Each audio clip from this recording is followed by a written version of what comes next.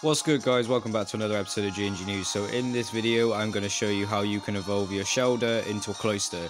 You need a Water Stone and you obviously need to have a Shellder. So without further ado, I'm going to click on your Water Stone, use your Water Stone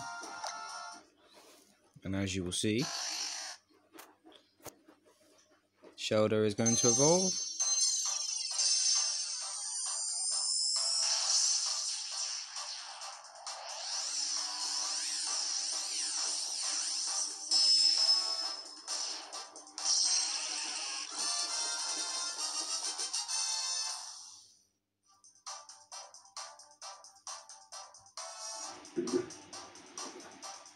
Another Pokemon to add to my Pokedex.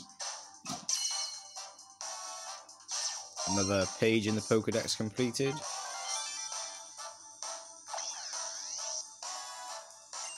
Thank you for watching another episode of GMG News. I will see you all soon.